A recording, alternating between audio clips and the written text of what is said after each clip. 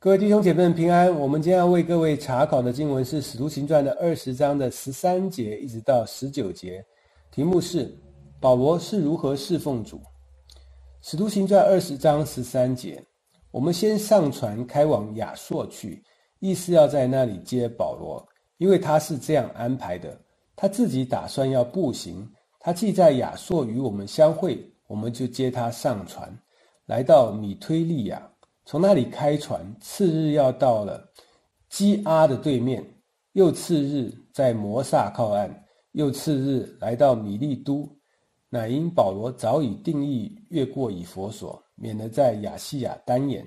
他急忙前走，巴不得赶五行节能够到耶路撒冷。保罗从米利都打发人往以佛所去，请教会的长老来。他们来了，保罗就说。你们知道，自从我到亚细亚的日子以来，在你们中间始终为人如何？服侍主，凡事谦卑，眼中流泪，又因犹太人的谋害经历试炼。保罗从以佛所出来，在马其顿及亚该亚地区绕了一圈，现在又坐船沿着地中海岸回到以色列的北部叙利亚，再进入耶路撒冷。在这里，路加并没有多讲，但是我们从哥林多后书九章就可以看得出来，保罗这一趟经过马其顿以及亚该亚，也是为了要募集赈济耶路撒冷荒年的善款。现在保罗预备前往耶路撒冷，要由海路坐船沿着地中海的海岸而行，这个航程也会经过以佛所的附近。然而，保罗并不打算回到以佛所去。很可能是因为当时以佛所曾经因为他发生暴乱的关系，许多人知道也记得保罗，所以没有必要进去惹麻烦了。但是保罗还是想要和以佛所教会的长老相谈，他就在以佛所附近的城镇米利都等待，并打发人去请教会的长老们过来和自己谈，这样遣人前去请多名长老出城来谈。显然会叫自己一个人进到以佛所要来的慢，但是总比节外生枝要来的好些。可见保罗仍然甚是挂念以佛所教会。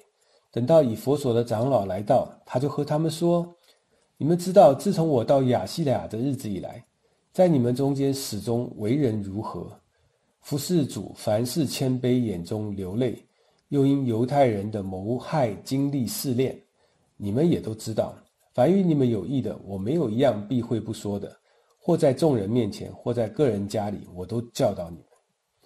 这就是看到保罗这个神的仆人在形式上的典范。他服侍主，凡事谦卑，有困难，有苦难，甚至是弟兄姐妹有软弱，有争执，有悖逆的。保罗不是用使徒的权柄去镇压，他乃是谦卑以对，但是又心中难过，自己流泪。这流泪也是他对。主的侍奉，有人问说：“他不是说要谦卑侍奉主吗？这流泪不是因为圣灵感动吗？”我们在路加的记载上并没有看到主又出现了，要保罗给他打洗脚水等等。保罗乃是在各地呼召神的百姓出来，并且将神的道传给他们。当然，这不仅仅是讲道而已，在讲了之后，还要看弟兄姐妹是如何身体力行的。我想这就是流泪的由来。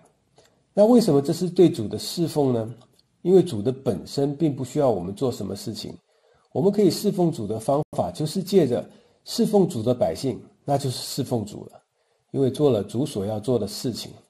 保罗也说了另外一样侍奉主的概念，那就是又因犹太人的谋害经历试炼。这句话不能够说他为什么流泪，从文中看得出来一点，但是从西语系的文法就看得更明白了。保罗能够抵挡犹太人的谋害，那就是对于他的试炼、试探，并且那也是对主的侍奉。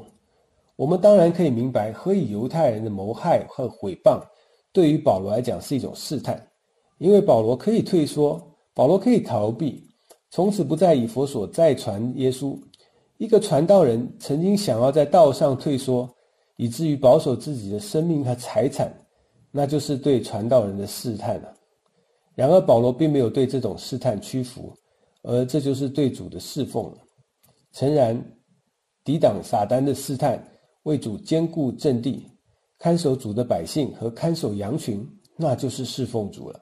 而保罗在以佛所所做的，就正是如此了。感谢赞美我们的主，愿上帝赐福给你们，阿门。